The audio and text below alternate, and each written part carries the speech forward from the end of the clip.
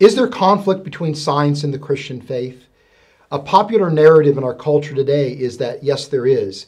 That scientific discoveries make it impossible to believe in God.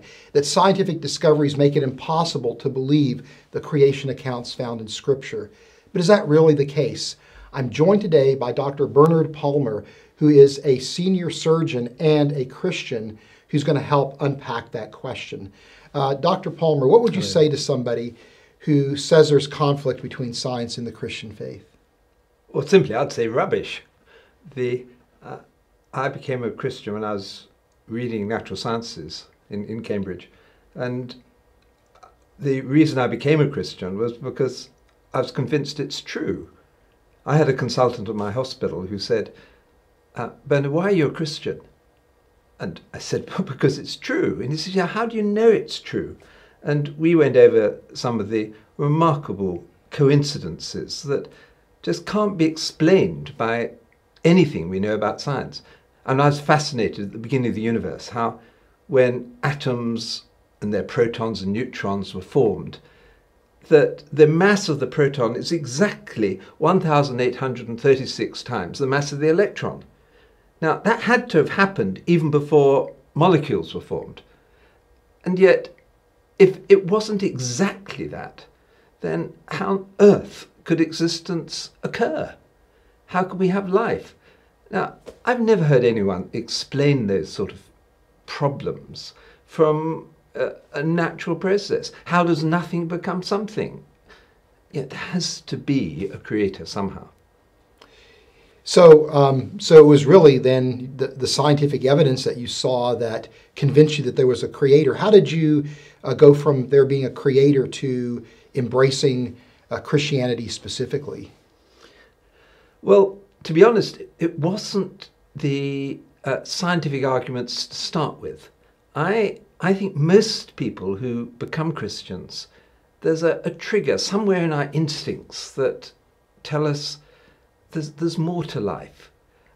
And it's these instincts that often start people searching. For me, I, everything was going swimmingly. I was playing a lot of tennis, which was my great love.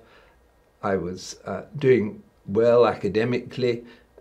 Everything was going well. But I just thought, well, what's, what's the point? You know, what am I here for?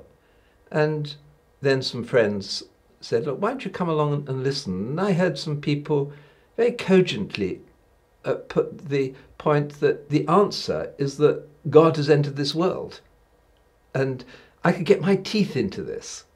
I could sort out you know, was Jesus really God? Did he really rise from the dead?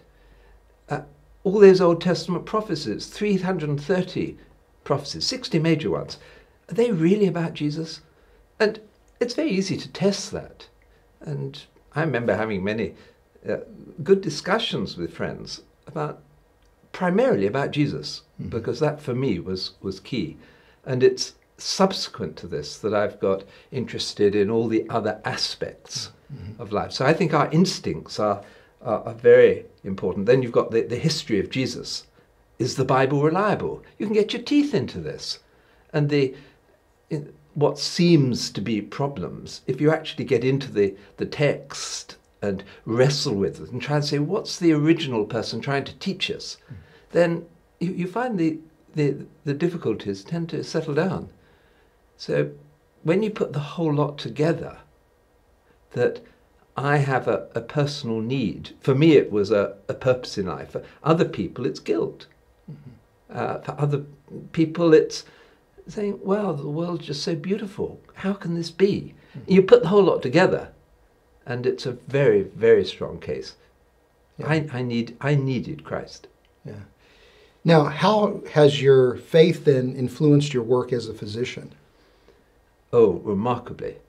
Uh, the, uh, your attitude to your patients is going to reflect the way that God sees me. That I needed him and my patients need me. So I've got to show the same sort of grace and kindness to them to reflect the gospel. Um, and more than that, I'm Christ called me to be more and more like the Lord Jesus. So I want my character to be tuned to, to be like him, to be honest, and not to accept uh, what I might call sort of exaggerations of the truth. Christians have got to be honest. Um, and also, he's called us there to share the gospel with other people so that they can get right with God too. So part of that means they've got to see Christ in me, but somehow I've got to communicate a message that they need to investigate Jesus Christ too, because the Bible's very clear that people get right with God only through a relationship with Him. Now, that causes tensions, obviously. Now, how do you get the balance right? I don't want to be naff, I don't want to be a religious you know, crank, but I want people to, uh, to learn and to think about Jesus.